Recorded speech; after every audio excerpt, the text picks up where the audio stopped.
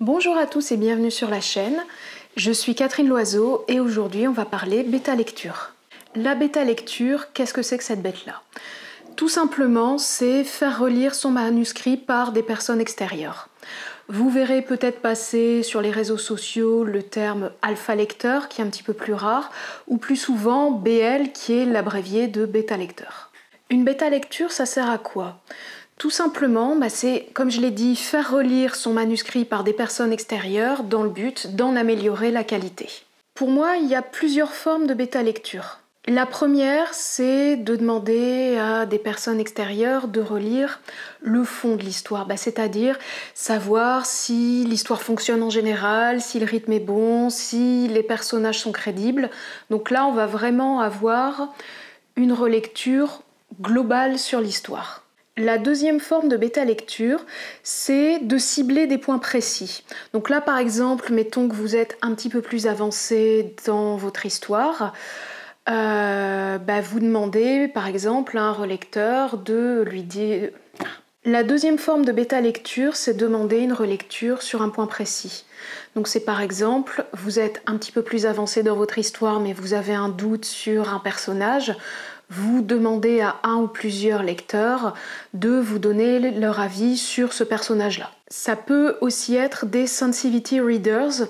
Donc c'est des lecteurs qui font partie d'une minorité qu'on choisit de mettre en scène euh, dans le roman et auxquels on demande leur avis. Par exemple, si vous avez un personnage gay qui fait un coming out, c'est quand même pas mal d'avoir l'avis de personnes gays ayant fait leur coming out, parce que ça va vous éviter de véhiculer des clichés et puis de raconter de la merde. Là, sur ces phases de relecture, comme je l'ai dit, on est vraiment sur le fond plus que sur la forme.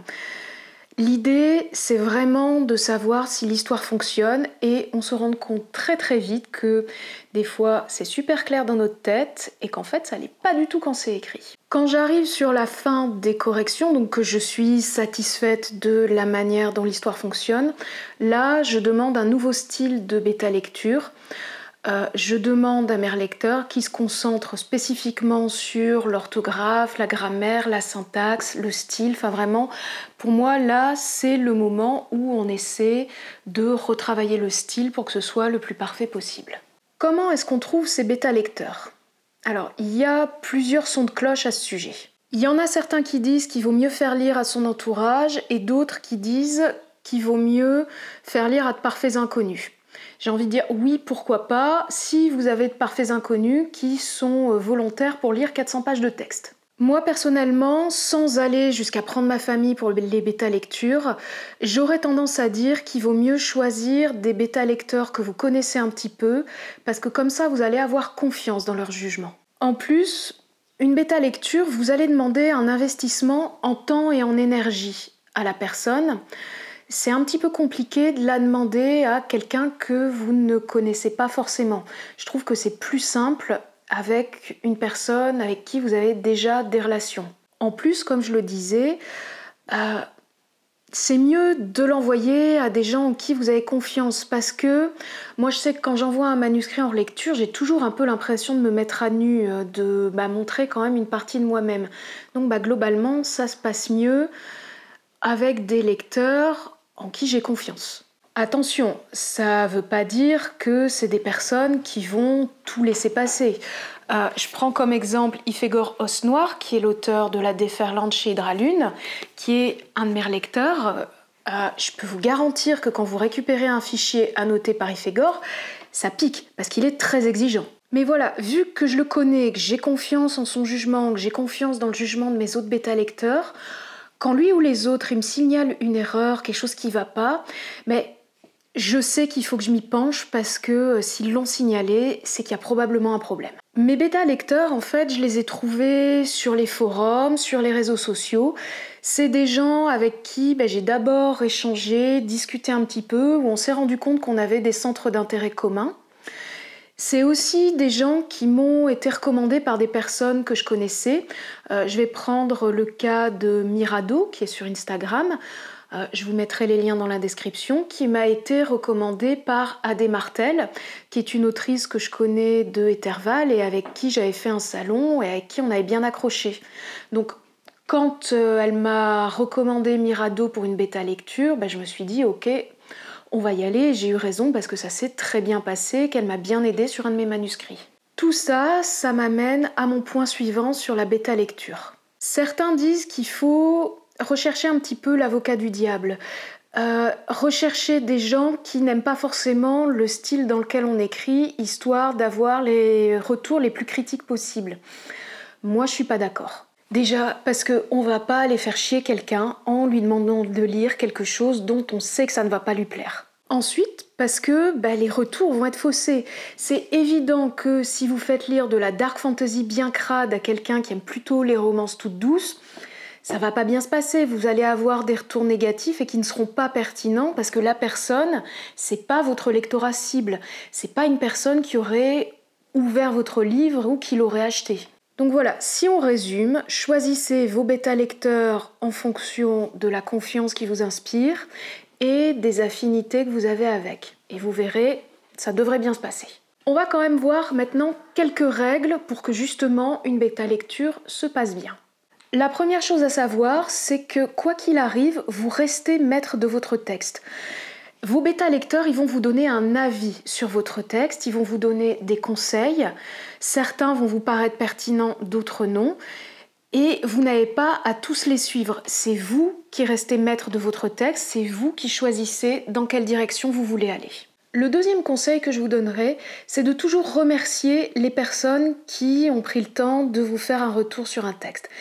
Même si c'est pas le retour que vous espérez, même si c'est négatif, remerciez-les parce que ils ou elles ont pris du temps pour vous et pour vos œuvres. Le troisième point, c'est ne soyez pas défensif ou agressif. Et c'est quelque chose qui est compliqué quand on reçoit des commentaires négatifs parce que bah on les prend vite pour soi et on a vite l'impression d'être attaqué.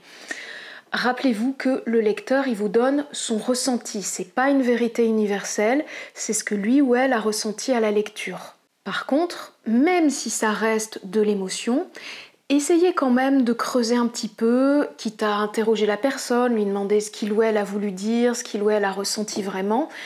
Moi, je trouve que c'est euh, souvent sur ces ressentis-là, quand on creuse un peu, que on débusque des choses qui ne vont pas et qu'on arrive à les améliorer assez facilement.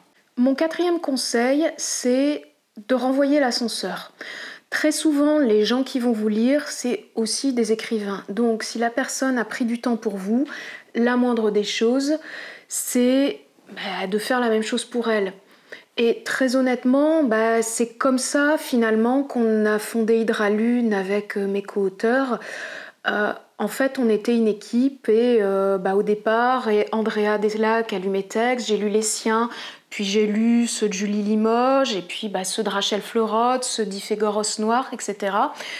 Et en fait, c'est vraiment comme ça qu'on s'est rendu compte qu'on aimait les textes les uns des autres, qu'on avait envie de les mettre en avant, et finalement, c'est comme ça qu'on a créé notre équipe. Je vais terminer cette vidéo sur la bêta lecture par un petit avertissement à destination des auteurs débutants, mais pas que. Méfiez-vous des bêta lecteurs qui vous annoncent Ouais, moi tu vas voir, je suis une vraie saloperie, je laisse rien passer. De mon expérience, fuyez. J'ai eu affaire à des gens comme ça et c'est des gens en fait qui aiment la punchline à vos dépens et qui vont se faire plutôt plaisir en massacrant votre texte et en vous balançant des scuds et qui vont pas vraiment vous donner euh, des pistes pour avancer. Je suis passée par là, c'est extrêmement nocif pour le moral et la créativité. Moi, je vous conseille vraiment d'éviter ce genre de profil et de privilégier des gens qui sont exigeants mais qui vont quand même garder une bienveillance à votre égard. Si par hasard vous tombez sur un lecteur qui vous fait ce genre de commentaires, vous n'êtes pas obligé de les lire. Vous remerciez la personne, mais vous n'êtes pas obligé de les lire. Éventuellement, si vous avez une personne de confiance, euh, vous lui demandez de relire les commentaires et de sélectionner ce qui lui paraît pertinent. Mais si vous sentez que euh, niveau émotionnel, ça va pas le faire et que vous allez plutôt vous retrouver en PLS à pleurer dans un coin, vous laissez tomber. Il n'y a aucune honte à le faire, moi je l'ai déjà fait. Voilà, j'espère que cette vidéo vous a plu. Si c'est le cas, n'hésitez pas à la liker, la partager. Dites-moi en commentaire, euh, c'est quoi vos expériences les plus marquantes de bêta lecture, bonnes ou mauvaises? Moi, ça m'intéresse toujours d'avoir le ressenti des autres. Et puis je vous dis à très bientôt pour une nouvelle séance d'écriture. Le chat gratte le panier. Matou